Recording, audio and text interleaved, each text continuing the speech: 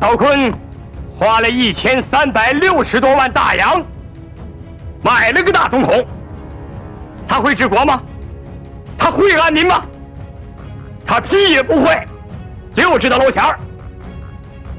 咱们当兵打仗，要三千条枪和十几门小炮，还得给曹锟、李六子白送大洋十万块，十万呐！这个世界不黑暗吗？这一天，冯玉祥率领部队从古北口的滦平县直扑北京，冯部人马日夜兼程赶赴北京。怎么样？你看三天能不能进北京城？两天足矣。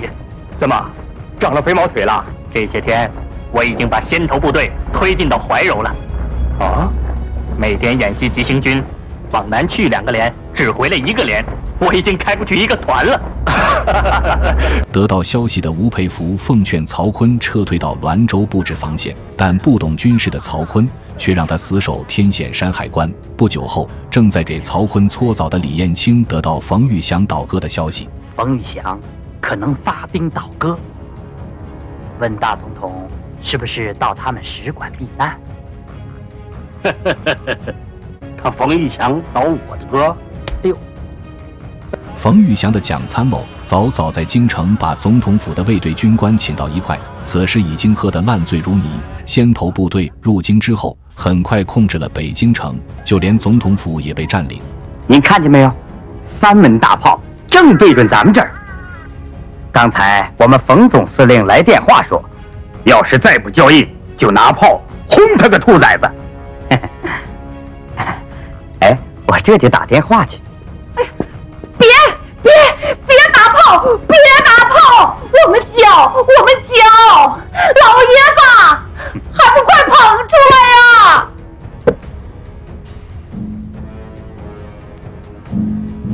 这次，曹锟当了一年的总统彻底下台。北京政变成功之后，冯玉祥主张军人不参与组建内阁，并电告孙中山北上主政。冯玉祥又贴出要修正清室优待条件的布告。为了不让溥仪复辟，冯玉祥决定将满清老臣和溥仪赶出北京城。请溥仪出宫是全国百姓的要求，我们是国民军，就要替国民办事。我大清皇帝入关以来，励精图治，宽仁为政啊，民心未失啊。冯总司令如此一意孤行，恐怕有负天下人吧？啊！你们说是宽仁为政，可我们记得的是清兵入关的大屠杀，是扬州十日，嘉定三屠。我们来此是执行摄政内阁的命令。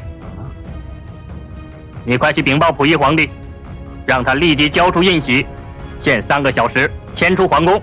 这，这是修正的优待条件，你拿去让溥仪签字。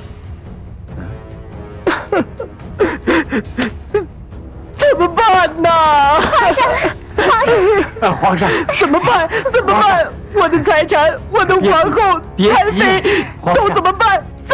怎么办呢？别急，叫王爷来打电话找王爷来，快去，快去，快去呀！溥仪先生，你今后打算称皇帝，还是做平民百姓呢？我愿从今天起就做个平民。那好，你是平民，我就有责任保护你，你就有了选举权和被选举权。是，说不定还能选上大总统呢。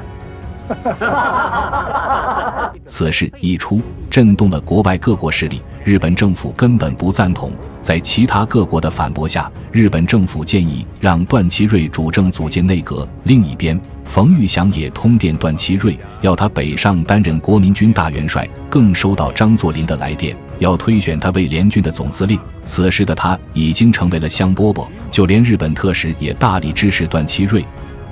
如果知老出山阻隔，日本政府将给予支持。您看，是不是当面跟他谈谈呢？在野贤人，现在不好见面吧？冯玉祥顶着各国的压力，依然将溥仪驱逐出了皇宫。吴佩孚本想调转天津，然后直插北京，铲除冯玉祥，再继续回山海关继续同张作霖作战。不料他的诡计却被段祺瑞识破。随后，段祺瑞还给吴佩孚发了一封电报：如果他自愿下野，段祺瑞担保在日租界给他找个公馆安度晚年。吴佩孚从未受到如此大辱。于是就要拔刀自刎。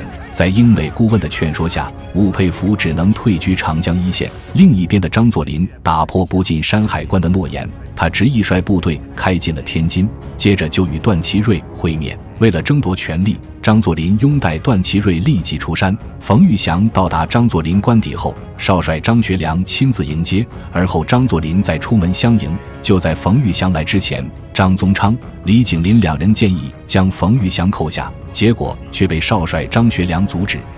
舆论要紧呐，还是慎重考虑为好。目前咱们兵力疲惫，再打恐怕也是不行。当张作霖迎接冯玉祥的时候，却给冯玉祥一个下马威。现在我给你下口令：向右转，正步走。立定！方将军是我的生死弟兄，他的口令就是我的口令，你敢不尊？他妈了个巴子，给我丢人现眼！冯玉祥自然明白其中的道理。谁倒戈，他的士兵誓死也不会倒戈。宴席上，张作霖与冯玉祥都拥戴段祺瑞出山组建内阁。对于冯玉祥说他有言在先，奉军不进山海关的诺言，张作霖却揣着明白装糊涂。呃，于天兄，嗯，咱们有言在先呢。事成之后，奉军是不进山海关的。嗯，嗯。不入山海关，谁打吴佩孚啊？啊，真是笑话！来来来来来，马炳南啊，有这个条件吗？啊，哦，冯先生提过。嗯，我怎么不知道？哎，行行行，好，来，啊呃，请。我忘了向大帅报告了。你混账王八蛋！事后，冯玉祥命令王承斌在天津收拢二十三师的部队，结果却遭到了张作霖的炮击。段祺瑞的势力还远比不了他们二人。如果自己出山，他必须让两人相互制约才行。以冯制张，以张制冯，我左右其中，就可立于不败之地。这天，几人打完猎之后，段祺瑞的管家向他报告，那边来了消息。明天，张作霖宴请冯玉祥，他的部下准备对冯玉祥下毒手呢。段祺瑞万万不能让冯玉祥遭到不测，要不然他的位子很可能坐不久。就在冯玉祥几人快要进入国民饭店时，一个人给了他一张纸条。此次赴宴就是张作霖摆的鸿门宴。冯玉祥快速到达车站，段祺瑞的管家亲自送来一封他的亲笔信。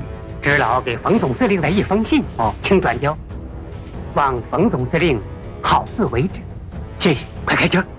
冯玉祥逃离天津之后，就立即电告孙中山先生立即北上主政。但就在1924年11月22日，孙中山由上海福海北上的时候，得到消息的段祺瑞立即扯下伪装，匆忙就任临时执政。他上任的第一件事就是将溥仪从冯玉祥监管的府中释放了出来。第二件事，又把曹锟从冯玉祥手中救出来，从而保护起来。一九二五年一月，冯玉祥受到段祺瑞、张作霖的排挤，段祺瑞任命冯玉祥为西北边防督办，至此他就成为了西北军的统帅。直奉大战上映于一九八六年，此片真实的反映了当时的社会面貌和内忧外患的客观情况。此片在一九八七年还获得了第七届中国电影金鸡奖。好了，本期视频到这里全部结束，我们下期再见。